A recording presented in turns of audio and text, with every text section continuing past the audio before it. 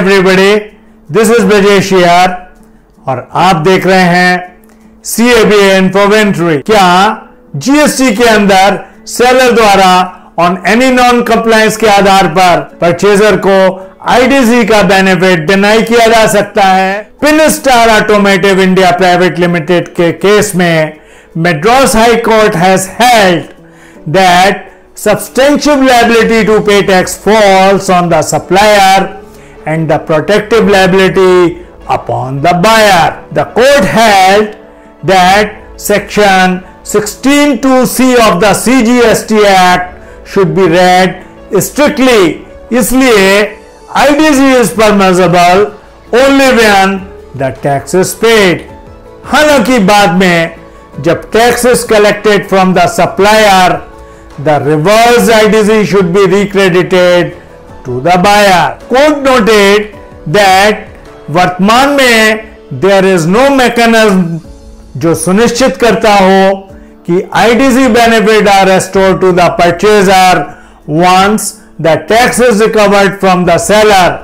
ये एक ऐसी स्थिति की ओर ले जाता है जहाँ revenue department gets taxes not just from the supplier also from the purchaser. To address this issue, High Court ने यह सुनिश्चित करने के लिए call for setting up a mechanism to ensure that the purchaser gets input tax credit benefits as long as GST is recovered from the supplier.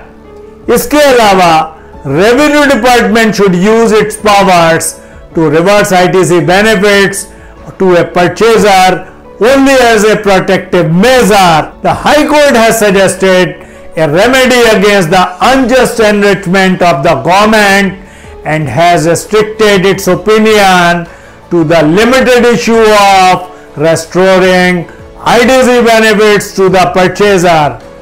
Court ने strict application of ITC provisions पर सवाल नहीं उठाया है the said order can potentially कई pending writ petitions को impact कर सकता है, जो सेलर द्वारा ऑन एनी नॉन कंप्लायंस के आधार पर परचेजर को आईटीसी के बेनिफिट से डिनाइल करने को चैलेंज करती है। थैंक्स फॉर वॉचिंग अगर आपके मन में अभी भी इस इशू पर कोई क्वेश्चन या सवाल आ रहा है तो कमेंट करके बताइए।